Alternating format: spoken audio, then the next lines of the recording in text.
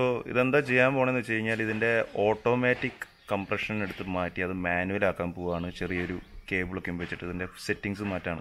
So അങ്ങനെ ചെയ്യണമെന്നുള്ള ഗുണങ്ങൾ ഞാൻ പറഞ്ഞുതരാം. വണ്ടിയുടെ ഓട്ടോമാറ്റിക് കംപ്രഷൻ മാറ്റിയിട്ട് മാനുവൽ ആക്കാനായിട്ട് ഇവിടെ ലെയ്ത്തിൽ വന്നേക്കാണ്. നമ്മൾ ഇതിന്റെ ഹെഡ് അഴിച്ചിട്ടുണ്ട്. ഇത്ര ഹൈറ്റിൽ വരും ഈ സാധനം. ഇതാണ് ഡീ കംപ്രഷന്റെ കട്ട. ആ. അപ്പൊ ഇത് ഈ സംഭവത്തിന്റെ സിലിണ്ടറിന്റെ ഉള്ളിൽ കേറി പോണം. അപ്പൊ വേറൊരു സാധനം വെക്കും. എന്നിട്ട് അതിന്റെ മേലെയാണ് ഇത് വെക്കുക. അപ്പൊ അതിന് ഈ ഒരു ചെറിയൊരു ഭിത്തി ചെറുതായിട്ടൊന്ന് കട്ട് ചെയ്ത് കളയും. വെന്റിലേഷന് വേണ്ടിട്ട് കാരണം ചൂടായർ പുറത്ത് വരുമ്പോ അത് പുറത്തേക്ക് പോകാനായിട്ട് ചെറിയൊരു വെന്റ് പോലെ ഇവിടെ കട്ട് ചെയ്ത് കളയും. എന്നാലും കുഴപ്പമില്ല. ഇനി അഥവാ നമുക്കിത് മാറ്റണം എന്ന് വിചാരിച്ചു. അപ്പൊ ഫാക്ടറി സെറ്റിംഗ്സിലേക്ക് നമുക്ക് തിരിക്കണം എന്നുണ്ടെങ്കിൽ ഈ ഹെഡിന് എത്ര വരും? ഈ സെറ്റ് മേടിക്കണം. ഇതിപ്പോ നമുക്ക് ഇതന്നെ യൂസ് ചെയ്യാൻ പറ്റും. അത് ഇതന്നെ ചെയ്യാൻ പറ്റും. അത് പഴയ മോഡലാക്കണമെങ്കിൽ ഡമ്മി വെച്ചിട്ട് ചെയ്യാം ക്ലോസ് ചെയ്യാം. ഡമ്മി വെച്ചിട്ട് ക്ലോസ് ചെയ്യാല്ലേ അപ്പൊ എഞ്ചിന്റെ സ്ട്രെങ്തിനൊന്നും ഒരു കുഴപ്പമില്ല. അവിടെ. സീൽ. ഓക്കെ അതിനൊരു കുഴപ്പമില്ല. അപ്പൊ ഇതുകൊണ്ടുള്ള ഈ ഇത് ആയിട്ട് സെന്ററായിട്ട് വരും. അതെ. ഈ രണ്ട് വാൾവിന്റെ- വാൾവിന്റെ എക്സാക്ട്ലി സെന്ററിൽ ആ ഹോൾ വരും. അല്ലേ? ആ ഓക്കെ ഓക്കെ ആ. ഇത് ഉണ്ടാക്കി വെക്കണ കമ്പനികളുടെ കമ്പനിന്ന് എടുത്ത് ഉണ്ടാക്കണാണ് പത്തൊമ്പതിന്റെ സ്പാൻഡറാണ് അതിൽ അളവ്. അളവ് വരുന്നല്ലേ? ആ ഉള്ളിൽ ത്രെഡ് ഇവിടെ ത്രെഡ് ഇത് ഈ ഭാഗം ഇതിൽ പിടിപ്പിക്കും. ഈ ഒരു സൈഡ് ഇതിന്റെ ഉള്ളിലേക്ക് ത്രെഡ് ചെയ്ത് പിടിപ്പിക്കും. നമ്മൾ കൊണന്ന ഇത് ഈ ഭാഗത്തേക്ക് കയറ്റും. കണ്ട? കൊണന്നത് ഇവിടേക്ക് കൊണന്ന സാധനം ഇതിലേക്ക് ഫിറ്റ് ചെയ്തു. വേണ്ട ഇത് വാഷൊക്കെ വരും ഇവിടെയും വാഷ് വരും ലീക്ക് ആവാതിരിക്കാൻ Okay. എന്നിട്ട് ഇങ്ങനെ ഫിറ്റ് ചെയ്യും. ഇത് ഇറങ്ങി പോവാണ്. അപ്പൊ ഇത് ഇറങ്ങാൻ വേണ്ടിയിട്ട് ഈ കഷ്ണം കളയിനോടുന്നു ഇത് ഇറക്കി ഫിറ്റ് ചെയ്യും. അപ്പൊ അതിയായി കഴിഞ്ഞാൽ മുകളിൽ തടയും. ഫ്രെയിമും തടയും. ഫ്രെയിമും മുകളിൽ മറ്റേ പെട്രോൾ ടാങ്കിന്റെ അവിടേക്ക് തടയും. അതിനുള്ള അളവൊക്കെ എടുത്ത് വെച്ചിട്ട് കറക്റ്റ് ചെയ്തിട്ടുള്ള അളവ് ആണല്ലേ. അപ്പൊ അത് ഓൾറെഡി റെഡിമെയ്ഡ് ആക്കി വെച്ച് സെറ്റ് ചെയ്ത് വെച്ചേക്കുന്നതാണ്. സാധാരണ ഇതുമ്മ റസ്റ്റ് കയറോ ഏയ്, റെസ്റ്റ് കയറാൻ സാധ്യത ഉണ്ടോ ഇത് വേണമെന്നുണ്ടെങ്കിൽ ഒന്ന് ഇതാക്കിയാൽ മതി. ഏയ്, അങ്ങനെ അതൊന്നും പെട്ടെന്ന് വേണ്ട. വരില്ല. ഇപ്പുറത്തെ ഇപ്പുറത്തെ സൈഡിലേക്ക് ഇത് ഇതിലേക്ക് ഓപ്പൺ ചെയ്യും. സെൻട്രലായിട്ട് ഏകദേശം ഇങ്ങോട്ടായിട്ട് വരും. ഏകദേശം മോൾ ഭാഗമായിട്ട് വരില്ലേ ആ ഇവിടെ മോൾ ഭാഗം അത് നമ്മൾ കനുള്ള ഭാഗം നോക്കി എടുക്കണേ. അതിന് വേണ്ടിട്ട് ഉം, ത്രോട്ട് ഓട്ടയാവാൻ പാടില്ലല്ലോ. ഇവിടെ ത്രോട്ട് ഉണ്ടല്ലോ. ചിലപ്പോ ഈ ഭാഗത്തിൽ കൂടി കഴിഞ്ഞാൽ ഡാമേജ് ഓട്ടയാവും വാൽവിലിക്ക് ഉൾഭാഗത്തേക്ക് ഓട്ടയാവുക. പുറത്തേക്ക് എല്ലാം ഓട്ടയാവും ഉള്ളിൽ ത്രോട്ട് ഉണ്ട്? ഈ മനസ്സിലായി. ഈ വാൽവിന്റെ ഗ്യാപ്പ് ത്രോട്ടിലേക്ക് കിടന്ന് ഓട്ടയ പ്രശ്നമാണ് വണ്ടി സ്റ്റാർട്ടാവില്ല ഇവിടേക്ക് ഓപ്പൺ ചെയ്യണം. അവിടെ ഉള്ളിൽ ഓപ്പൺ ആയി അടക്കലും തുറക്കണ ഗ്യാപ്പ് വരും. പോയി. പിന്നെ ഈ ഈ സാധനത്തോണ്ട് കാര്യമില്ല. അപ്പോൾ ലെയ്ത്തിൽ കൊടുത്ത നമ്മുടെ ഹെഡ് കിട്ടിയിട്ടുണ്ട്. സോ ഈ കാണുന്നതാണ്. സോ ഇവിടെ ഒരു ചെറിയൊരു ഹോൾ കണ്ടോ? അതായത് ഏറ്റവും മുകളിൽ വലിയൊരു ഹോൾ അത് കഴിഞ്ഞൊരു ചെറിയ ഹോൾ ഇവിടെ കണ്ടോ? ആ ഹോൾ അടിക്കാനാണ് നമ്മൾ കൊടുത്തേക്കുന്നത്.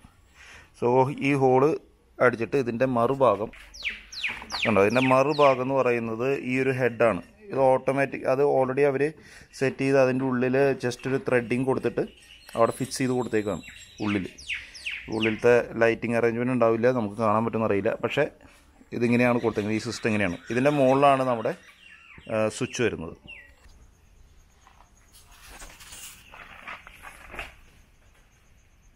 ഈ ഗവർണർ എടുത്ത് കളയണം കേട്ടോ ഇതാണ് അതിന്റെ ഗവർണർ ഡീകംപ്രഷൻ ഡീകംപ്രഷന്റെ ഓട്ടോ ഡീകംപ്രഷന്റെ മറ്റേ സ്പ്രിങ് സ്പ്രിങ് ഗവർണർ എന്ന് പറയുന്നത്? ആ അപ്പോൾ ഇത് റിമൂവ് ചെയ്തിട്ട് മാറ്റണം. മാറ്റും മാറ്റി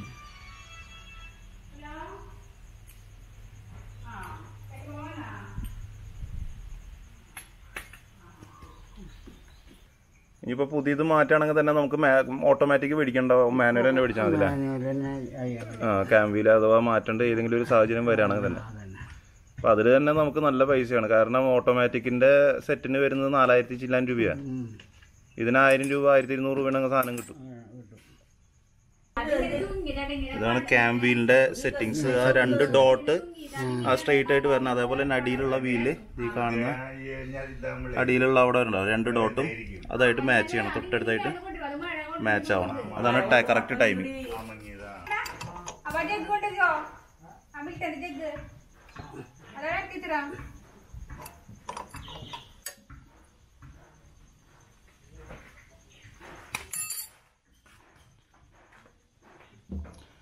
ഇതാണ് സ്വിച്ച് ആ ഡീകംപ്രഷന്റെ കട്ട.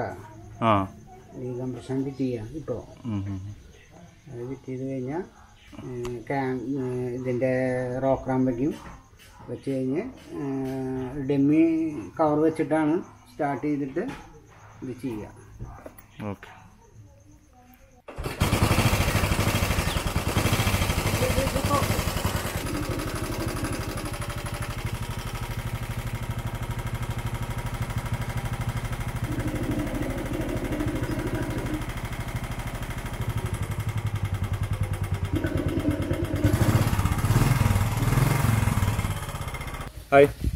ഇപ്പോൾ നേരത്തെ നമ്മൾ കണ്ട വീഡിയോ അല്ലേ? ആ വീഡിയോ എടുത്തിട്ട് ഏകദേശം ഇപ്പോൾ ഒരു ഒരു വർഷമായി. ആ ഒരു വർഷം കഴിഞ്ഞിട്ട് ഇപ്പോൾ ഏകദേശം മൂന്ന് ഓയിൽ ചേഞ്ച് കഴിഞ്ഞു. അപ്പോൾ ഞാനത് ഇമ്മീഡിയറ്റ് ആയിട്ട് ഇടാത്തത് വേറെ ഒന്നും കൊണ്ടല്ല എനിക്ക് ഈ വണ്ടി ഇങ്ങനെ ചെയ്യുന്നതുകൊണ്ട് ഈ ഓട്ടോമാറ്റിക് മാറ്റിയിട്ട് മാനുവലിലേക്ക് ഷിഫ്റ്റ് ചെയ്യുന്നതിലൂടെ വണ്ടിക്ക് എന്തെങ്കിലും കംപ്ലൈന്റുകളുണ്ടോ മൈലേജ് ഷോർട്ടേജ് ഉണ്ടോ? അങ്ങനെയുള്ള കാര്യങ്ങളെല്ലാം നേരിട്ട് എക്സ്പീരിയൻസ് ചെയ്തിട്ട് വേണം എനിക്ക് വീഡിയോ ലൈവ് ചെയ്യാൻ. അതിന് വേണ്ടിയിട്ട് ഞാൻ വെയിറ്റ് ചെയ്തു.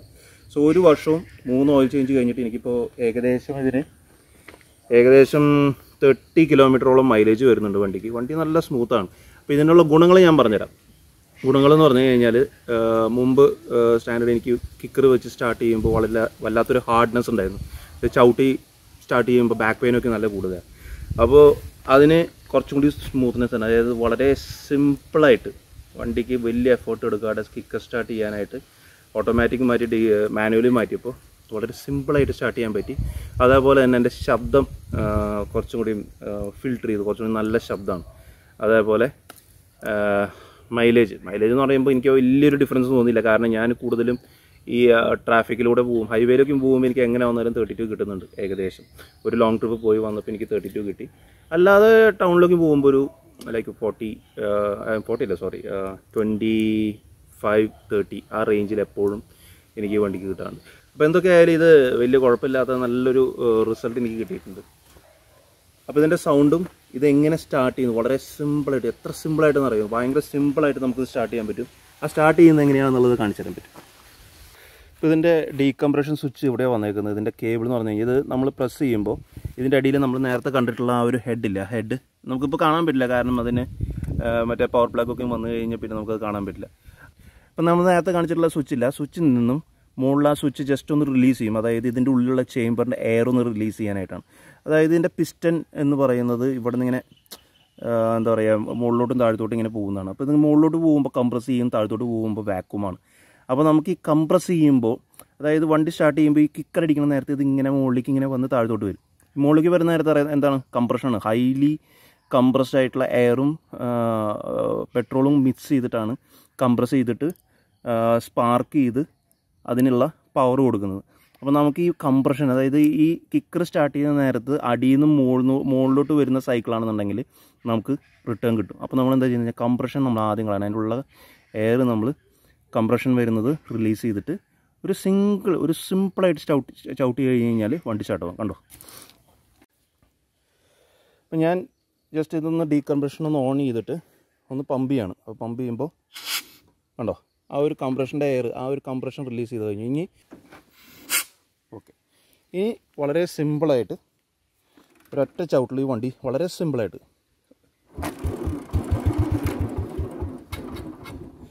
അത് ഞാൻ ആക്സിഡേറ്റ് കൂട്ടിയപ്പോൾ ചെറ്റിപ്പോയതാണ്. നമുക്കൊന്നുകൂടി സ്റ്റാർട്ട് ചെയ്ത് നോക്കാം.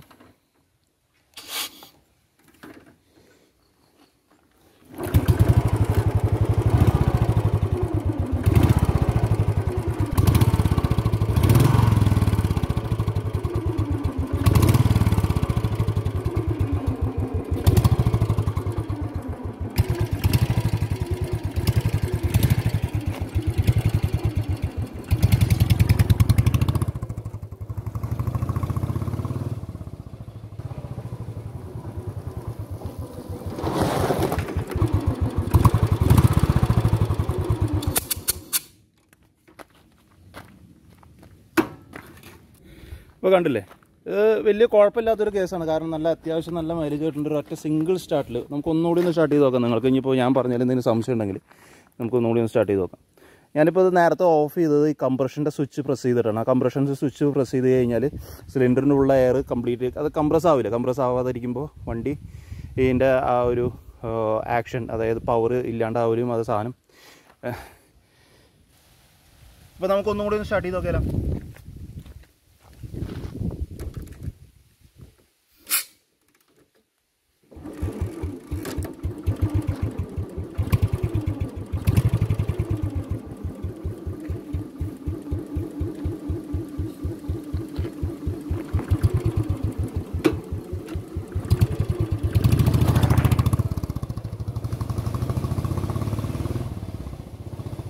അപ്പോൾ തൃശ്ശൂർ ഭാഗത്ത് ഓട്ടോമാറ്റിക് കംപ്രഷൻ മാറ്റിയിട്ട് മാനുവൽ കംപ്രഷൻ ആക്കണമെന്നുണ്ടെങ്കിൽ നല്ല അടിപൊളി ഒരു സ്ഥലമുണ്ട്.